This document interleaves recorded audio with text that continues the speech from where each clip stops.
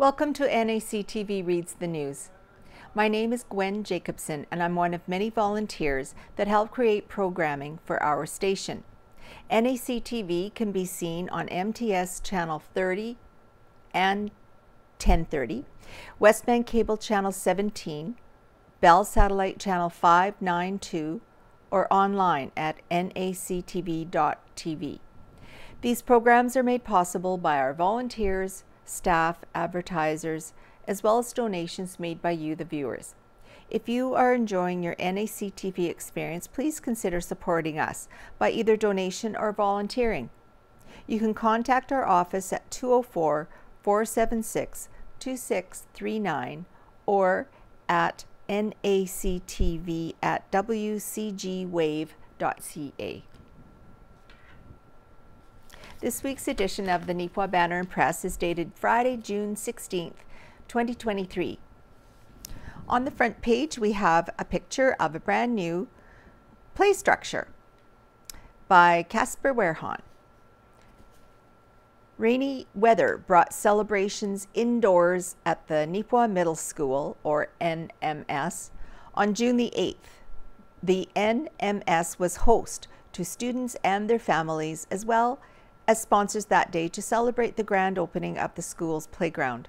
While the playground has been in use for some time now, the final piece, known as the Meteor, was recently installed. NMS principal Val Perieski provided an opening speech to kick off the event, stating, We are so pleased to have so many of our wonderful guests here today. Thank you to all of you and to our donors and sponsors.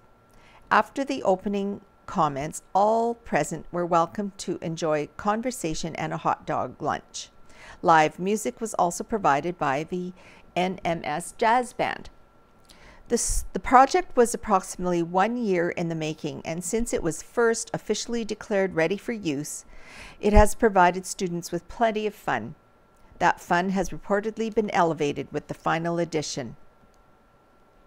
One student Chris Jared Basco, walked the Neepawa banner and press through a detailed explanation of the structure. In addition to the slides and several stationary pieces, there are also pieces that move and spin. I feel like an astronaut, said Basco of one of the spinners. Basco added, There's another piece that we call the spider web. There's a, a couple poles, and the web is made up of a bunch of ropes, and there's a ring in it. So it's modeled after one of those real spider webs you can find. Fellow student Baxton Husak also weighed in, stating, It's amazing. I've been having a lot of fun with it.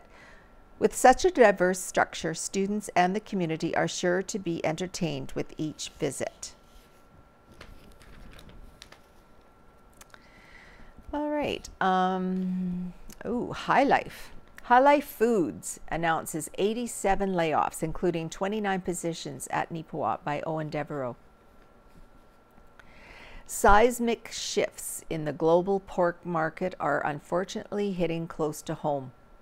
On Friday, June the 9th, HyLife Foods announced it must lay off, it must lay off 87 employees, including 29 positions at the pork processing facility in Neepawa. The majority of affected jobs are related to administrative and are not expected to significantly impact production.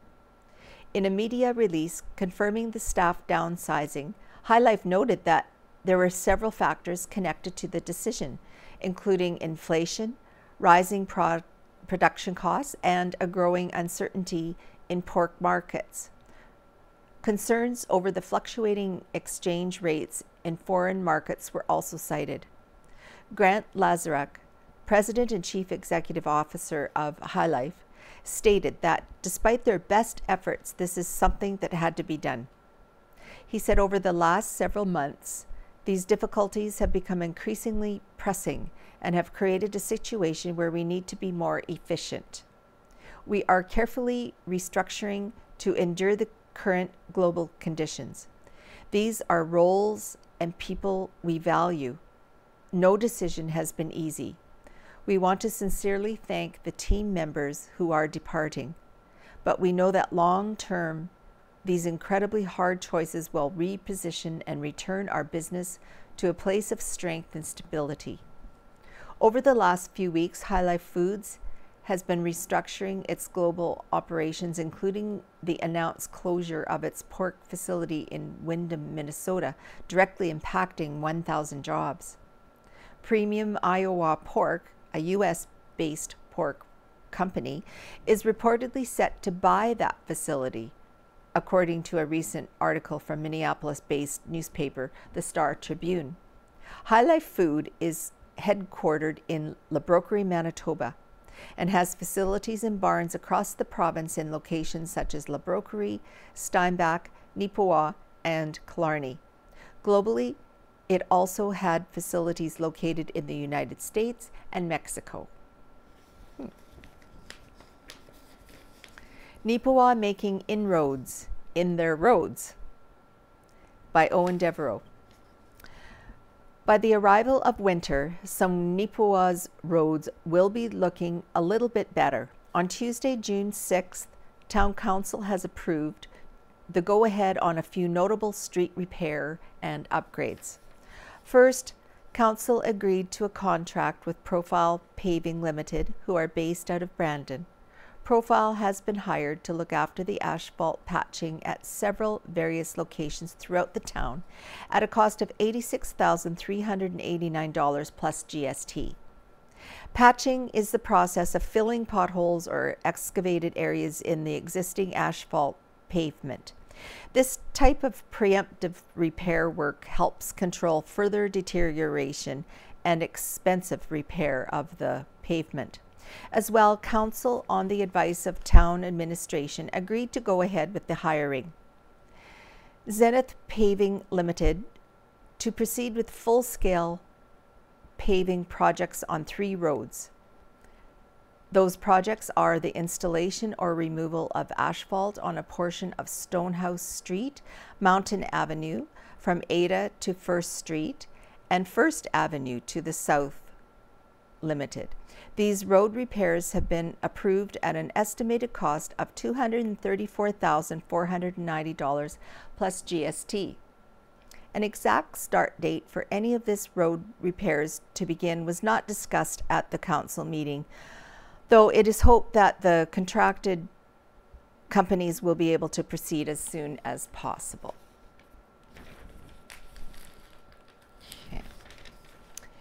Helen Drysdale, out of Helen's Kitchen. This week, her article is entitled Town Names. This should be interesting. As the prairies of Canada were settled, immigrants came by the thousands, putting down roots and naming their little corners of the world. Some places were named after where the settlers moved from, and many place names came from the landscape, lakes, and rivers. Still, more are named for families in the community or honor political or historical figures. And then there are those with origin stories that even locals can't agree on. I decided to, to delve into some of our local towns and villages' names. So here it goes. Neepawa's name came from an Ojibwe word meaning plenty of. The area had plenty of free land for homesteading, and it was found to have plenty of rich agricultural soil, perfect for growing bountiful crops. Birnie's name came from one of the first settlers in that area named John Birnie, who arrived in 1886. His land was where the town was built. There are still Birnies in the area today. The name story for the town of Eden says that in 1877, Mrs. McCracken, the oldest person living in town, got the honor of giving the new town its name. With the bountiful crops and gardens that the area grew, she felt like she was living in the Garden of Eden. I like that or origin story. Brookdale's name came from John Mitchell, the first postmaster who named the post office Brookdale for the little brook running in the vicinity. When the school was built in 1883, it took the name of the post office, as did the town when it was formed in 1902. and there are still Mitchells living there too. Franklin was known as Bridge Creek until 1890. Residents wanted the name changed to Franklin. The origins of that name story are not clear, one believing it was named after Benjamin Franklin and another after the explorer Sir John Franklin. Hmm. To the north of Franklin is the community of Polonia. Its original name was Huns Valley, named after the, uh, the settlement of Hungarian people who came in 1885. In 1921, the name changed to Polonia to represent the large number of Polish people that had settled in that area. If you have ever taken the 357 road that goes past the village of Mountain Road, the name is just that simple. You have to drive up a mountain road. Arden has several stories of how it was named. One story goes that Maurice Boughton, the first postmaster who opened the first general store, named it after a town that he lived near in England. Another story is that it was named after a cook on the railway construction crew named Arden. He was said to disappear for naps, and the construction foreman was always saying, Where is Arden? That store probably that story probably is a beer committee tale, but who knows? Wellwood was named after the Reverend James Wellwood, who came in the 1880s to serve as a Presbyterian minister to a large area. He lived in Tanner's Crossing, later called Minnedosa, and traveled to serve his congregation. He was appointed school inspector and was instrumental in building a school at Wellwood. The story of the Mentmore name is my favorite. The village was on the land owned by Thomas Drayson, who had immigrated from England. He believed that his new home meant more to him than his old home. I purchased an older cookbook recently and it had pages of another cookbook in it. There is no cover, so I have no idea which ladies group published it. I did enjoy the older family names who contributed the, the recipes. Today, you will find several of the recipes from that partial book just the way they were written. Perhaps you will recognize the names from the past. Enjoy. The first one is a cauliflower carrot coleslaw recipe by Mrs. Agnes Willerton. The next is a chocolate brownies recipe by Mrs. Albert Jury of Eden. And I know jury, there's still lots of juries in Eden. And the last one is a chicken rice casserole by Lorraine Tanner. All right, here's a article about Neepawa raising the roof for new health care by Owen Devereaux. Neepawa's 45 foot height restriction for most new buildings is just not enough for the massive medical undertaking being planned for our community's East End. On Tuesday, June 6th, Bird Construction, on behalf of Prairie Mountain Health, asked for a variance to the local bylaw in order to accommodate the planned $127 million health care facility. Taller ceilings are needed for modern hospitals for their medical equipment and ductwork and the existing local restrictions would make that difficult. Council reviewed and approved the variance unanimously. The brand new hospital in Neepawa was first announced back in 2021, with the province optimistic that construction could be fully completed by 2025. Other notes, other items of note. Council has approved the creation of design drawings for a pair of railway crossing within the town's jurisdiction. If a community is considering any type of permanent modifications near an existing Canadian Pacific Rail crossing, they are required to have technical design created and sent to the company for review and approval. In relation to that, Neepawa is looking into changes to the approach angles at crossing at Hurl Road and Barker Road. Council has hired Burns Maendel Consulting Engineers Limited to create the required designs at a cost of $16,450 plus taxes. The permanent closure of a portion of Commerce Street has been approved.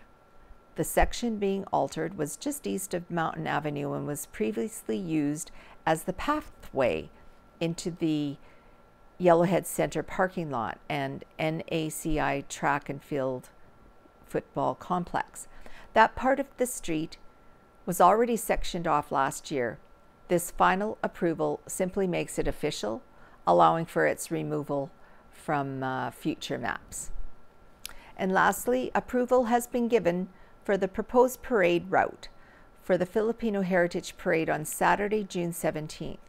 The parade will begin at 1 p.m. at Riverbend and travel to the Yellowhead Center. Portions of the street will be blocked off for a time during the festivities. Now, Rural Outlook section. Over $36,000 raised for Carberry Splash Park Committee by Casper Werhon. The Neepawa Banner and Press received a welcome update last week regarding Carberry's Kalina Green Memorial event. The event was held on May 27th in honor of Green's life and adventurous spirit, as well as to celebrate her birthday. As part of this celebration, a fundraiser walk slash run was held in which all funds raised would be donated to the Carberry Splash Park Committee. The numbers from this fundraiser have been confirmed, and they sing to the tune of six figures. Precisely a grand total of $36,712 was raised in Green's honor as of June the 3rd. Additionally, further donations are still being received. Attendance for the event also boasted a, a, healthy number with an official participation count of over 500 people. Green had a great love for swimming, and it is anticipated that the splash park will be a positive addition to the community once the committee reaches their goal and can bring the project to fruition. We have a couple of pictures from the event. Here we have participants making their way out from under this balloon arch at the fundraiser celebrating Kalina Green's life and birthday on May 27th. The event was held at Carberry's R.J. Waugh Elementary School. And here we have a volunteer whipping up some delicious grub on a barbecue for all in attendance when they were done their walk. Next is about new AIS inspection stations established in Minnedosa and St. Rose de Lac submitted by the Manitoba government. Boaters in western Manitoba will see new aquatic invasive species, also known as AIS, inspection stations near Minnedosa and St. Rose de Lac. Natural Resources and Northern Development Minister Greg Nesbitt announced the new stations on Friday, June 9th. Watercraft inspection stations are a critical tool in controlling the spread of aquatic invasive species, and these new stations have been placed specifically to respond to growing zebra mussel and other AIS threats in western Manitoba. Cleaning, draining, and drying your boat is a responsible practice every boater must follow to protect our ecosystems and maintain recreational opportunities. So we need all Manitobans to do their part to help control the spread of AIS. Watercraft inspection stations help watercraft users comply with AIS requirements. Anyone transporting motorized or non-motorized watercraft such as canoes and kayaks must stop at all open watercraft inspection stations along their route. The Manitoba government is also advising of new AIS control measures at Footprint Lake, located north of Grand Rapids between Cedar Lake and Lake Winnipeg. Anyone using watercraft and water-related equipment in Footprint Lake and its tributaries must ensure to clean, drain, dry, and de decontaminate all watercraft and water related equipment before placing them onto another water body. Signage will be placed at access points to Footprint Lake to reflect this new measure. All watercraft users in Manitoba are reminded to remain vigilant and do their part to protect the province's water bodies from the introduction and spread of AIS, the minister noted. This includes ensuring all watercraft and water related equipment are clean, drained, and dry after use in any water body in Manitoba and decontaminated after using these items in a water body designated as a control zone. Set fines for AIS offenses, offenses are in effect year round and carry a range of penalties depending on the offense, including a $672 fine for failing to stop at a watercraft inspection site and a $2,542 fine for removing watercraft or water related equipment from a water body in a control zone and placing it into another water body without proper decontamination. Ooh, those are hefty fines.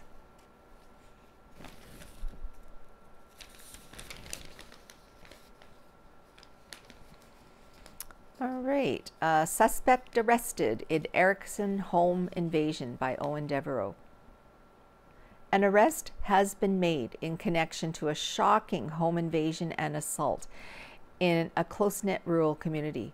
The incident, according to the RCMP investigation, is believed to have taken place just before 2 a.m.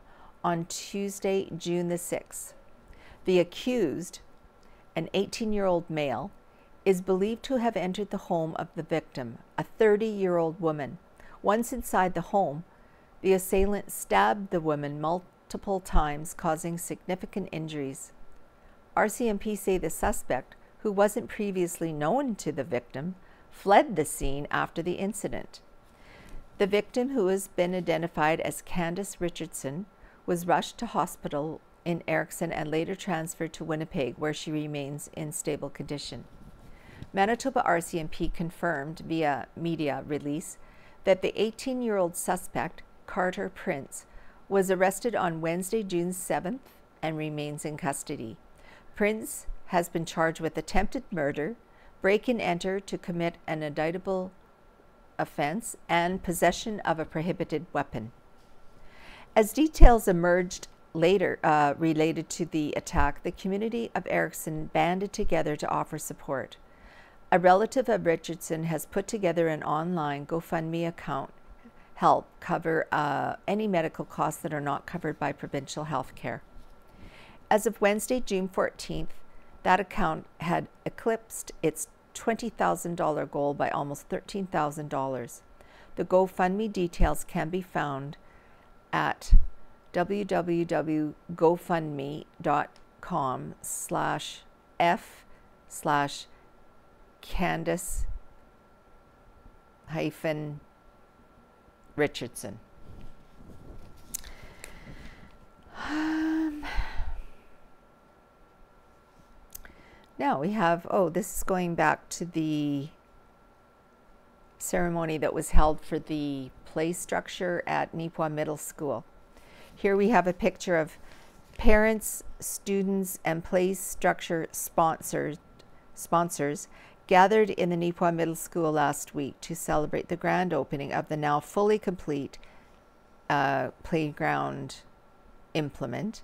All in attendance were treated to a hot dog lunch, as well as music provided by the Neepawa Middle School Jazz. Due to rainy conditions, the ceremony shifted inside the school, and here's the band playing.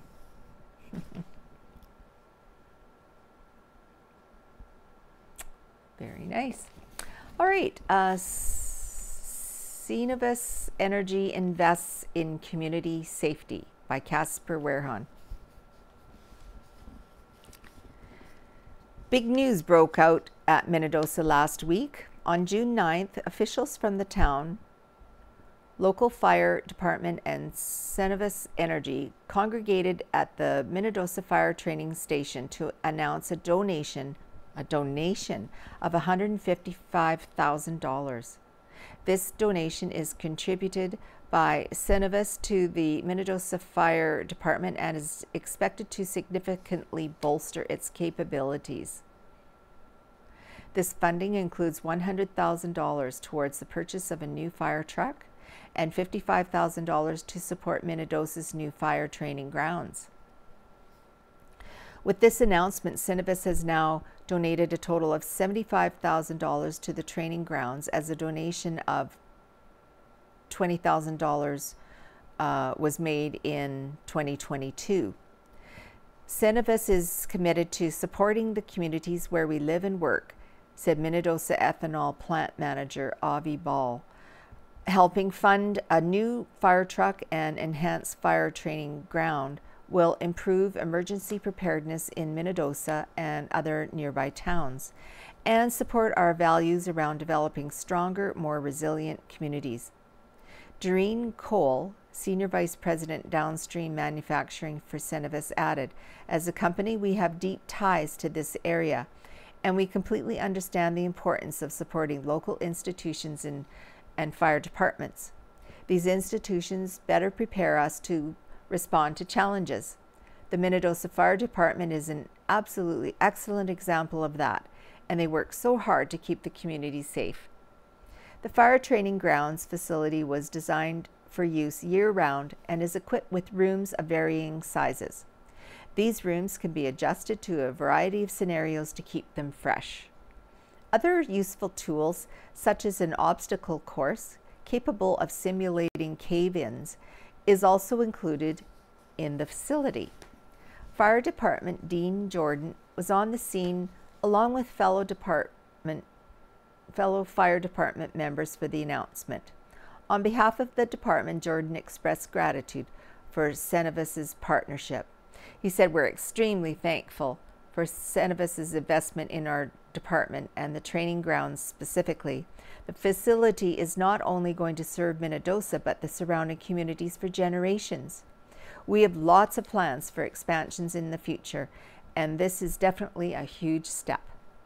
Mayor Ken Cameron added, It is a true honor when we can partner with companies such as Cenovus to bring training facilities and new equipment to our community, which helps our community grow and attract people. At present, it is anticipated that the fire training grounds are one month away from finalizing minor details and pursuing a grand opening. This facility is available for use by the whole of the mutual aid district. So here we have a picture of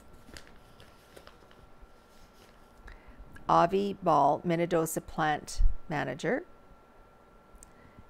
Carrie Margetts, VP of Canadian Downstream Manufacturing and Technical Service, Doreen Cole, Senior Vice President of Canadian Downstream Manufacturing.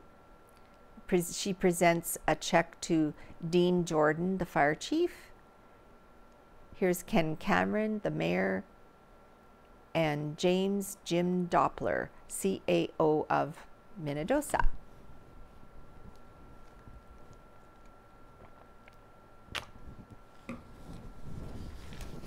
All right, let's move on.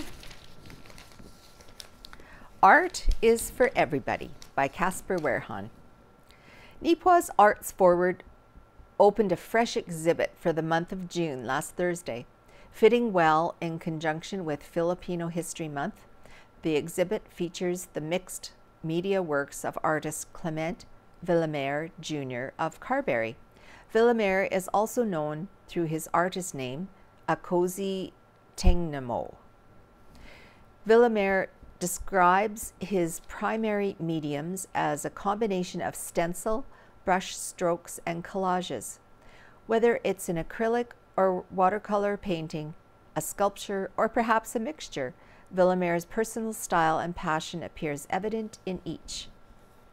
I also use a lot of recycled materials, things that would likely just go to the dump.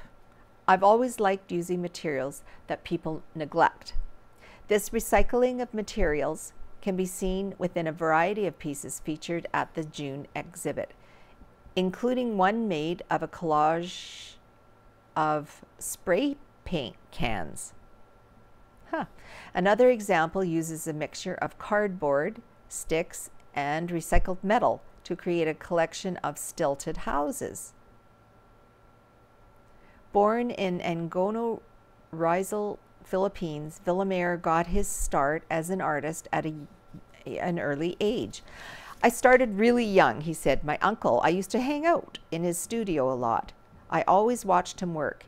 He didn't teach me, but through watching him, I learned how he did the projects he worked on and built up my own skills. While I was in school, I did a national art competition and it was an amazing experience. Competitions help me to gain more experience and develop. It's part of how I learn. He halted his painting for a period of time while in college, going on to work as a cook for about 15 years. His life journey brought him to Singapore before moving to Canada, where he traveled. He continued to travel and returned to his passion. I was in British Columbia before going to Newfoundland, said Villamer, and I remember I painted for every province and left art there. Then I fell in love with the prairies. After Villamer made his home in Carberry, he had the unique opportunity to teach art at the local school for a year. This experience is one he holds particularly fondly in his heart. One of my friends is a teacher there for grade five. He had asked me what I did in the Philippines, and I said art. And he said, he saw my work and said, Wow, you should teach a class. After further discussion, Villamer agreed that he would teach art at the school if the idea was approved, and sure enough, Villamer went on to teach the students for a full year. I had never done that before and I was so touched. It was a unique experience. The kids were nervous because they weren't sure if their classmates would like their art. So I brought up art from people like Picasso. They started young too, and art is for everybody, and it's, it's subjective. Villamer added, teaching them how to dream. This teaching job was really special. We grew really close, and the students still say hi to me if they see me. They all grew to be so passionate. Villamer's own dream is to one day have his own gallery. So here we have a picture of students touring um, Arts Forward on June the 18th for the opening of uh, Villamer's new exhibit. So these are just students looking at these uh, sculptures. Here we have a picture of uh. He's carefully pointing out some materials used in his sculpture of a collection of houses as he describes the piece and how it was made. And here we have, uh, among his works, are some parodies of famous artist Banksy, including the one pictured here. This picture is um, made out of acrylic spray. So if you're around Arts Forward area, drop in and see his, his artwork. Here we some have some pictures of Kinsmen Courts to host summer party. Oh my goodness.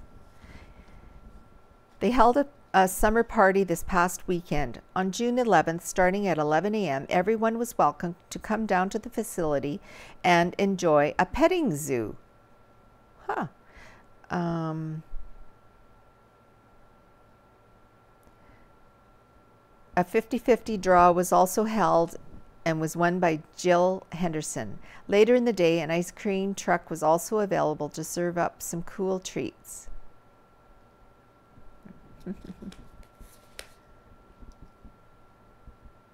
so they set that up right outside Kinsmen Courts. How cool is that? All right, a slam and good time in in Neepawa. Canadian Wrestling Elite hosts house show at Yellowhead Hall. Now there isn't really a, an article about this, but uh, there's some pictures. Wrestling fans in Neepawa were ready to rumble on Wednesday, June 7th, as Canadian Wrestling Elite held a show at the Yellowhead Hall. It is a Winnipeg-based promotion founded in 2009 by Danny Duggan. The Canadian Wrestling Elite House Show featured five matches, including one featuring former WWE superstar, the masterpiece Chris Masters, now known as Chris Adonis, pictured here. Huh. Now, on to some sports articles. Titans Building for the Future by Owen Devereaux. The Neepawa Titans have started to solidify their future both on and off the ice. The Junior A Hockey Club announced on Monday, June 12th, that 15 year old forward Addison McIntosh has signed a letter of intent with the team. McIntosh spent last season with the Yellowhead Chiefs of the Manitoba 18 and under AAA League, where he had 11 goals to go along with 12 assists in 44 games.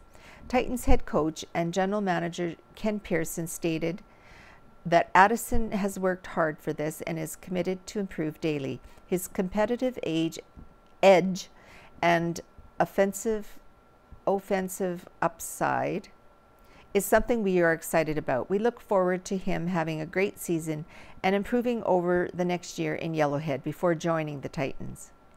McIntosh, who is from Neepawa, said that he's very much looking forward to being a part of his hometown team. I am excited to sign my letter of intent with the team I grew up watching. Playing for the Titans has always been a goal of mine since I was a kid. Now to have a chance to play with them is a dream come true, and I'm so proud to be a Titan, said McIntosh. And this is a picture of him right here. Other notable announcements from the Titans will impact how the team looks behind the bench and at practices.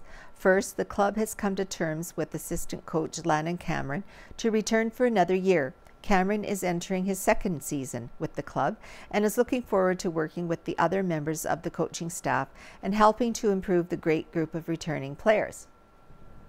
Along with the return of Cameron, the Titans are adding to the staff Devin Fordyce has agreed to terms on a contract as the new goaltenders coach.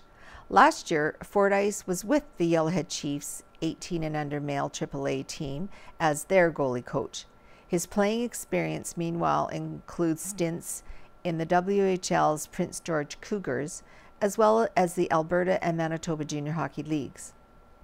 Neepawa also added some employees who will spend most of their time in other arenas as opposed to the Yellowhead Center, with Chris Menard and Chad Taylor joining the organization's scouting staff.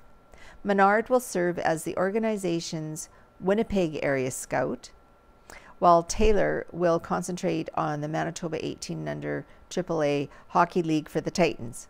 Taylor was also recently appointed as the head coach of the Yellowhead Chiefs 18 and under AAA Hockey Club. Boy, he's going to be a busy fella. Now here we have a picture of the Minnedosa Mavericks. Welcome, welcome. They're being welcomed into the, into the Manitoba Baseball Hall of Fame.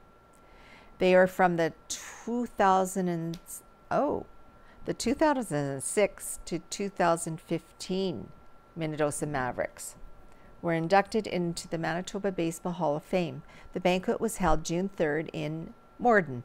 The team had a historic run in the Santa Clara Baseball League, winning 10 consecutive league championships. Boy, that's fantastic.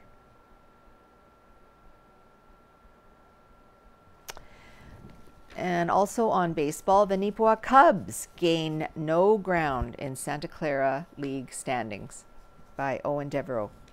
The Neepawa Cubs split their most recent games in the Santa Clara Baseball League on Wednesday, June 7th, the Cubs defeated the Minnedosa Mavericks 6 5. Taylor Fletcher went 2 for 3 at the plate and drove in a pair of RBIs for the Cubs, while teammate Dustin Cook was 2 for 4 and had a pair of RBIs of his own. Pitcher Cole Krukwich registered the win, going three innings and striking out eight. Two nights later in Austin, the Cubs were bested by a late game comeback from the A's, falling 5 to 4. Despite a solid outing on the mound with six strikeouts, Shane Fraze was tagged with the loss for Neepawa. Elsewhere around the league, the Plumas Pirates have remained perfect so far this season. They are now 6 0 after beating the Carberry Royals 10 0 on Friday, June 9th. Zach Yando had another big night at the plate with a home run, his fourth of the season. He also added a, a single, double, and three RBIs. Plumas pitcher Justin Walker collected the win with a five inning performance. He struck out six Carberry batters and allowed just a pair of hits. So at this point, these are the standings in the Santa Clara Baseball League. In first place, Plumas Pirates. In second place, Portage. Third place, Austin. Fourth place, Carberry. Fifth place, Neepawa. Sixth place, Minnedosa. Alrighty.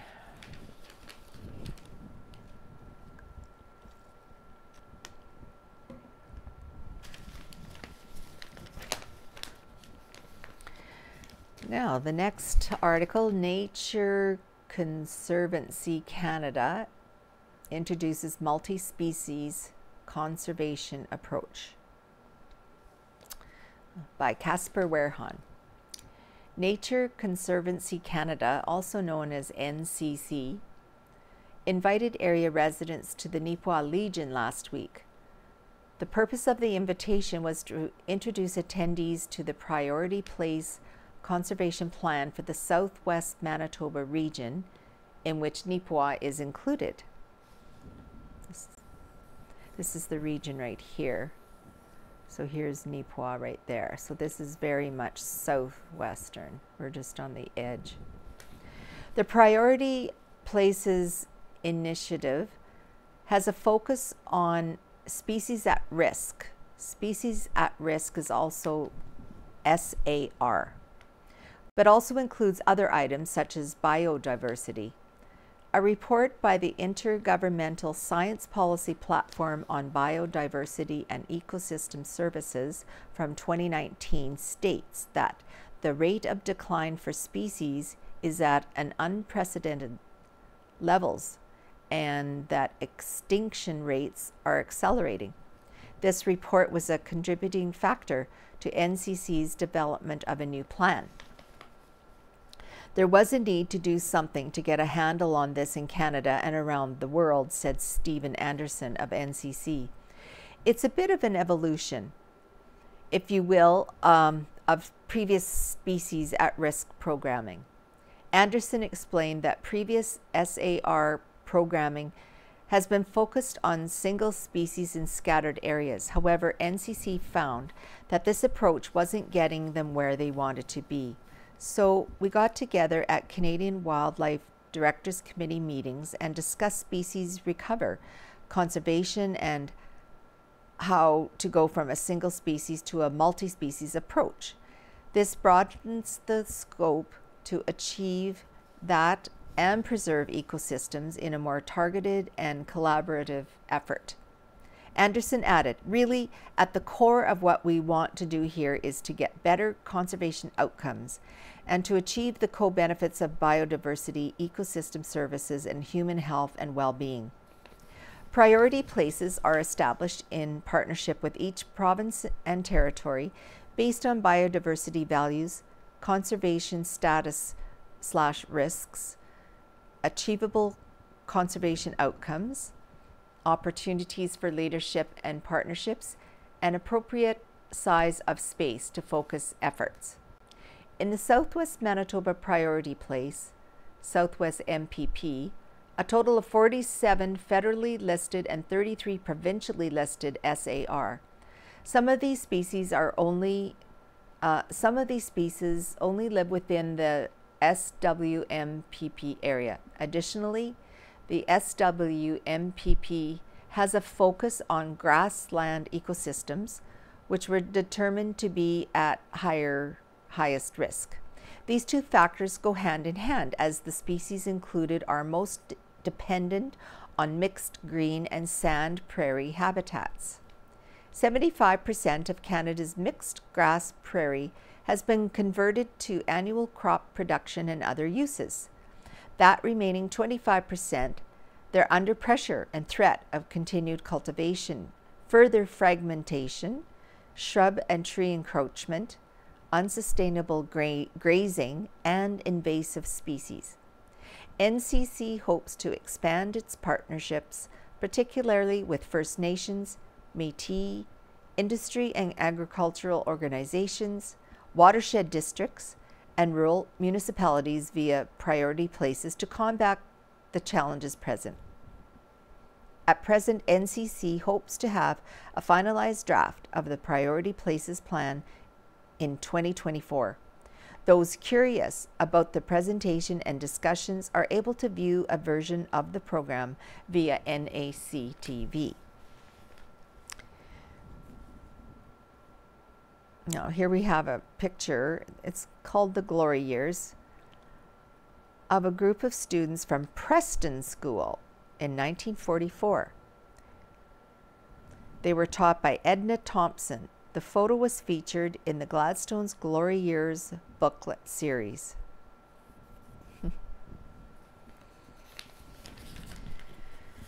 All right, next, let's see couple of old pictures here that can be seen at the Beautiful Plains Museum.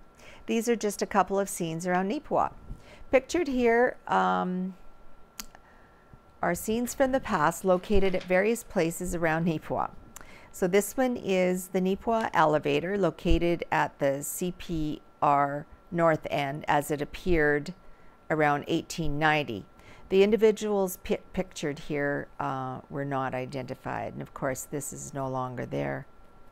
And here we have a view of Hamilton Street um, in Neepawa from an unspecified year. However, the cars that can be seen here appear to be from the late 1940s. This photo was a reprinted was reprinted for use as a postcard. Huh. Some of our town still looks like that.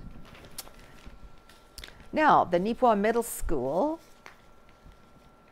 also had a breakfast outdoors. Students here were eagerly enjoying a fresh breakfast on the morning of June the 14th. Teachers whipped up some fresh, warm French toast right here as an assortment of tasty sliced fruit was also handed out. Many students sat at the available picnic tables while others chose a comfy spot on the newly completed play structure to enjoy their meals.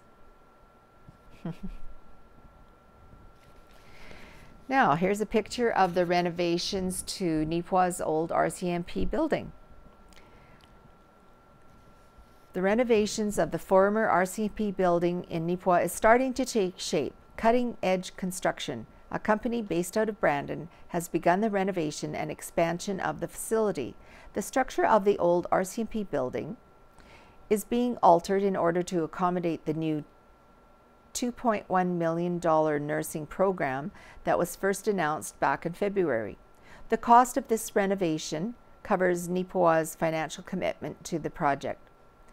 Assiniboine Community College is operating the one-time 25-student practical nursing diploma program that will be coming to Neepawa in 2024. Very good. The Swedes invade Erickson, submitted by Swedish Cultural Association. Swedes from Manitoba, Ontario, Alberta, and British Columbia, the United States and Australia came to join Swedes in Erickson to celebrate their rich Swedish culture and heritage. Erickson was one of the first settlements of Swedes in Manitoba. The Swedish Cultural Association of Manitoba wanted to meet the people and pay tribute to the ancestors who made it all happen. Swedish accordion music and a warm was a warm Velkommen that had toast dancing and heart singing. Coffee was on, stories were told, and displays showed slices of the history of Swedish settlement in the area. Traditional Swedish food for lunch energized the crowd. Willing hands completed the maypole that was paraded to Viking Ship Park. The parade was led by Carol Gunvaldsson on the nyckelharpa and included the Skandia folk dancers, the maypole, the Gustav and Gustav the Dala horse, um, all the way from Vasa land in Winnipeg. Once the willing Vikings got the maypole in place, Swedish ring dancing had young and old joining in the fun dances, followed by Skandia fun folk dancers with special Swedish dancers preparing especially for the event. Tours of the Scandinavian cemeteries with lemonade at the Scandinavian Immigration House 1885, Cairn, brought out more interesting and entertaining stories. It was a glorious Erickson day that will fill us with rich memories forever.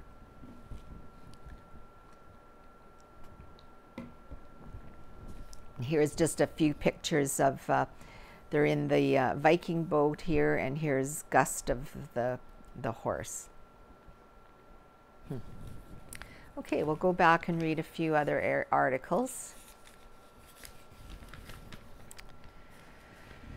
Homebodies by Rita Friesen. This week it's entitled Haying Weather. As we were sitting at the chef, lingering, oh, I guess that's the chicken chef, restaurant, lingering over a cup of coffee, a gentleman stopped by to visit. This was just days after the heat wave, and so weather and temperature was one of the topics. His comment was haying weather, this with a knowing shoulder shrug. And then he asked how I could write so much about nothing, not his exact words. And I asked for topic suggestions. Being of an age older than I, but with similar backgrounds, he tried a Schultz from Hogan's Heroes. I see nothing. I hear nothing. I know nothing. We all know that Walter knows a great deal about a great many topics. And so the subject returned to haying. Back in the day with the sweep making windrows and a cross raking to form piles of hay that were gathered, stamped down, on the hay racks to be unloaded at home in well formed stacks for winter feed. He spoke about the sweat running down your back and burning in your eyes as you struggled to lift the hay you were standing on to toss it down. Yep, and all I had to compare that with was the small, square, really rectangular bales of my youth. The story isn't much different if it occurs on a hot, swelterly summer day. I mentioned the slings that swung the hay into the loft of the hip roofed barn. That was for rich people. Okay, both my grandparents had big barns with hay slings, and that was my normal. It took maturity on my part well into adulthood before I recognized that both sets of my grandparents were hard working, progressive, and prosperous farmers big barns, a drive through granary, a wind charger in the front yard. It's what we had, and I never thought to check out what other neighbors had or didn't have. They were neighbors. The con- conversation somehow shifted to cleaning out pens. I maintain one of the worst to clean is a sheep pen. Their tiny hooves pack that manure so tightly that the best method of sheep pen cleaning is to turn the hogs into there for a few days. Walter thought that was genius. I confess that I am last conserving energy and time, not necessarily brilliant. He parried with stories of cleaning pens when young calves had been held. Their little feet do much the same packing job as sheep. He explained that when you tried to lift the loaded pitchfork, Lots, long strings of linked hay and straw made the task frustrating. That too. Our chatting continued until his wife came back for him. and as he was leaving, he mentioned again that he knew nothing, but I should keep on writing. I assured him he had just written this week's column for me. I do enjoy formulating my thoughts and sharing them with you. I appreciate feedback, and I am finding that many of you appreciate being walked back through the good old days. At least they look good from here now. For folks often wonder how I can always find something to write about, and I remind them that when I stop talking, close the box. oh dear. All right, uh, Right in the Center by Ken Waddell. This week it's entitled Thoughts, Lots of Thoughts. Disclaimer The views expressed in this column are the writer's personal views and are not to be taken as being the view of the Banner and Press staff. Sometimes columns come to mind based around one theme. Sometimes, like this week, many thoughts come to mind. The first one is that a person can think or believe whatever we want, but with one exception. That exception is we can't make someone else believe or think what we want. That said, what we want or think should be expressed openly and gently.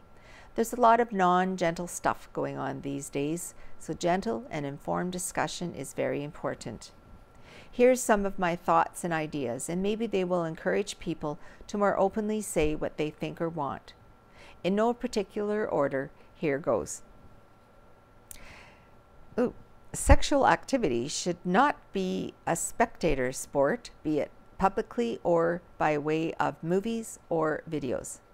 Sexual activity is ideally conducted between a man and a woman in a long term committed relationship. Marketing, the movie, and television industry are way too far down the sexualized path. It doesn't seem to matter what is being sold, it has to be accompanied by some form of sexual display. On a less serious note, perhaps how many tons of perfume is being poured into air fresheners and laundry detergents these days. Until seeing ads on TV the last few years, I would not have known there was a need to dreamily smell the fresh bath towels. According to the commercials, I am way off base, I guess. Electric cars are still heavily subsidized, and so are the new battery plants. Looks like the governments of Ontario and Canada are going to toss $20 billion of our money into battery plants in Ontario. That's an obscene amount of money per created job. Fair comment, though, the oil and gas industry is subsidized too. Companies and sports teams are slow learners. Recent events have shown they need to stay out of political movements or their customers will simply fade away. When a company or a sports team advocates for a movement, they will fall victim to those who simply want athletes to be athletes and beer companies to be beer companies. When fans or customers leave, it's simply a kind of quiet quitting. People don't have to drink a certain beer or watch a certain team. People have choices and tend to exercise that choice. Sales and profits are important. That said, money isn't everything. If money or profits were everything, then this paper would have a drugs and prostitution division with a side hustle selling illegal guns. My overall mantra is it's if it's illegal or immoral, don't do it. Illegality is set by the laws of the land and immorality by various standards. Both can be subject to change. The Ten Commandments seem to be a popular basic choice, at least by Christians, Jews, and Muslims. My father gave me some wise advice. He used to say, If it's not yours, don't touch it. That advice has a wide application. If a possession or property isn't yours, then don't touch it. If a person isn't your spouse, then don't touch them. Too simple for some, but I think it's great advice. As always is, if you agree with me, that's fine. If not, that's fine too. Either way, send us your opinions, and if you want me to read them, I will happily do so. If you want me to publish them, I will certainly consider that too. All right, the last article today is by Faithfully Yours by Neil Strohschein. Dreams Worth Working and Praying for, Part 2. A few weeks ago, I saw an interesting post on Instagram. It was a picture of a group of elementary school students tending a vegetable garden. They were learning how some of the fruit and vegetables they ate each week are grown. From the looks on their faces, I could tell how much they enjoyed this section of their science course. The caption below the picture read, Should upper elementary and junior high school students be taught how to grow their own food? My answer is a resounding yes but I think we can add several other items to the list of things students should be taught. In a January 2021 article I found somewhere, uh, the author was Matthew Schwartz. He suggested that all high school curricula should include a basic life skills program that covers accounting and money management, career paths and networking, nutrition and mental health, computer science, and work ethic. Hmm. To these, I would add topics like basic vehicle maintenance, how to make simple home repairs, things like changing a light bulb or patching a hole in the wall, plunging a plugged toilet, or removing stains from walls, carpets, or clothing. And how to do minor repairs to one's clothing, like sewing on a button, darning socks, stitching together a split seam on a pair of pants, etc. No high school student should be allowed to graduate until he or she has learned that. Learn that if you break something, try to fix it before you replace it. Lessons like these will enable those who complete them to be more self sufficient and, as a result, less dependent on government to meet daily needs. Many years ago, I heard someone say that in this person's opinion, the average family in North America is one paycheck away from bankruptcy. I was quite certain that very few people believed that statement when it was first uttered, but my, how things have changed. Between COVID, inflation, the war in Ukraine, and food shortages due to frost, flood, or dry weather, some families are discovering that their take home pay no longer covers their costs for food, clothing, shelter, and transportation. So, what does one do? Some appeal to government for additional help, but no government can look after its citizens from birth to death. Eventually, we must take responsibility for ourselves, working at a job, making money, and paying as we need as we go for the things we need. And if we have learned some of the basic life skills identified above, we will find coping with difficult times to be somewhat easier. We will be able to keep track of our finances and economize where we can. By doing simple repairs ourselves, we will avoid the cost of hiring professionals to do them for us, and we will learn to live more simply until the crisis times have passed, thus surviving without government help. That's how people survived during the Great Depression of the 1930s and the war years that followed. It has been said that those who lived through those years were made of tougher stuff than we are. I re- respectfully disagree. The truth is that we won't know how tough we are until we have to live through hard times similar to those our ancestors endured. That's why I believe we need to teach our children how to be more self sufficient and less dependent on government. It may take a while to achieve this goal, but I believe it is a dream worth working and praying for.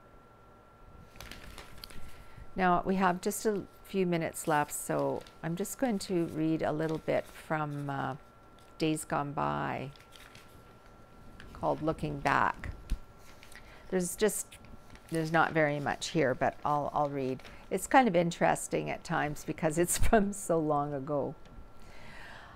125 years ago in Neepawa, June 1898, measles of a severe type developed among the Galician colonists recently settled near the Huns Valley, which we talked about early and it is now known as Polonia. Several deaths have occurred last week Alarm at once spread throughout the neighborhood, and the community authorities requested the immigration commissioner at Winnipeg to come to the rescue. 100 years ago, June 15, 1923, in Franklin, in the town of Franklin, rumor has it that Dr. W.E.R. Coad, C O A D, at one time, a doctor with a local practice having passed examinations in England of a very advanced standard has sailed for Canada. Whether or not the doctor will locate here is not understood. The fact remains a doctor is needed here and needed badly. 75 years ago, June 1948, in Wellwood, our sympathies to Mrs. A. Lord, who received word last week that her brother died in Australia. 50 years ago, June of 1973, Kenneth B. Morrison, editor and publisher of the Gladstone Age Press, announced this week that he will be running as an independent candidate in Gladstone constituency for the forthcoming election. And lastly, 20 years ago, June 2003, Rothsay Rendering will no longer be picking up animal carcasses free of charge. The plant stopped processing cattle carcasses following the discovery of mad cow disease in an Alberta cow. Before the discovery, Rothsay hauled away cattle byproducts for free from a number of Manitoba communities, including Neepawa. So that is it for this week's edition of the Neepawa Banner and Press. Thank you for joining us. Hopefully we'll see you another time. So bye for now.